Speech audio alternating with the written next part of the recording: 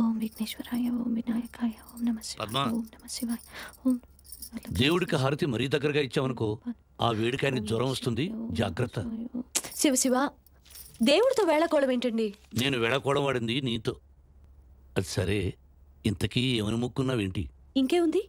సుమంగళిగా మీ చేతిలో కన్ను మూయాలని. ఒకవేళ నేనే నీ ఒళ్ళు పోయాననుకో.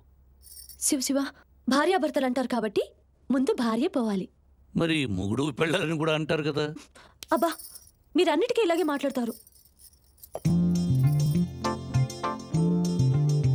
ఏమండి నాతో చిన్న కోరిక. ఇక్కడ బాగోదేమో బెడ్రూమ్లో. ఛీ అది కాదండి. మరి? అది ఏమండి నిన్న టీవీలో చూశాను. చనిపోయిన వాళ్ళ శరీరాలను తగలపెట్టకుండా ఆసుపత్రికి దానం చేస్తే అవి డాక్టర్ చదివే పిల్లలకి ఎంతగానో ఉపయోగపడతాయట. అంతేకాదు కళ్ళు కిడ్నీలు లాంటి అవయవాలు కూడా అవసరమైన వాళ్ళకి పనికొస్తాయటండి. ఇంతకీ నువ్వేం చెప్పదలుచుకున్నావే? అది నేను పోయాక నా శరీరాన్ని బూడిదపాలు చేయకుండా ఆసుపత్రికి ఇచ్చారనుకోండి నేను చచ్చి కూడా ఉపయోగపడినట్టుంటుంది. ఇంకెప్పుడు ఇలాంటి మాటలు మాట్లాడకు. నాకు కోరుకుంది చెప్పనా? ఏంటది? పద్మ. కలిసి ఎలా బ్రతికామో అలాగే కలిసి చావాలని. కానీ దేవుడు మగవాళ్ళ పక్షపాతి.